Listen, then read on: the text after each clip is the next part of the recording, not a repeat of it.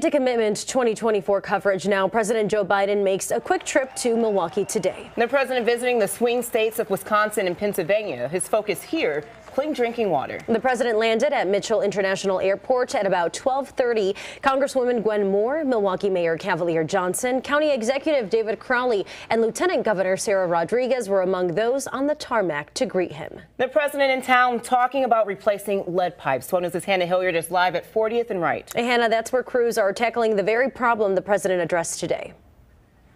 Uh, right, Deanna and Kristen. So crews spent much of the day today using this heavy machinery to dig up underneath the roads as well as the sidewalks here along 40th Street to replace these lead lines. But 65,000 lead lines still remain here in the city.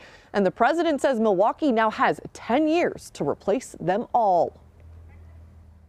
A Milwaukee mom? As a mother of four, it is terrifying to learn about. Who's seen the problem and a local laborer. This is hard work, but it is so rewarding.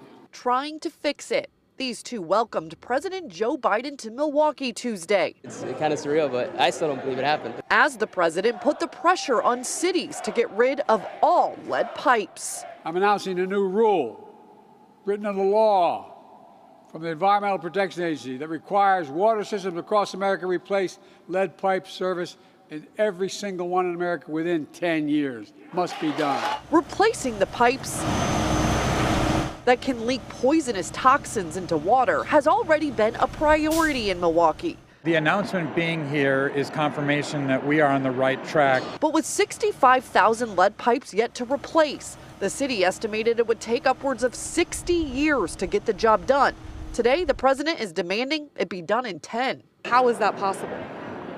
Well, primarily due to funding. So 60 years was the timeline when we started back in 2017 and we were replacing about 1,000 lead services a year. This year we've expanded to hopefully we'll get close to 2,500. An ambitious goal with an $800 million total price tag. The bipartisan infrastructure law has helped cover about 13% so far, but simply put, there will be more funding needed.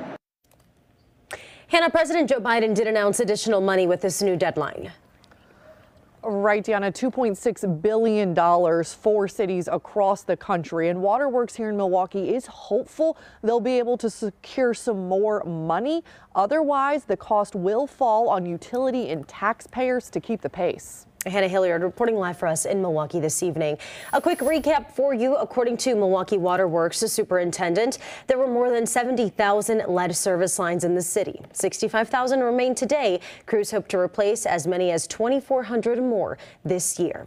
And 12 News has done several investigations on this long-running battle to replace lead pipes in Milwaukee. You can watch those past reports right now on the 12 News mobile app.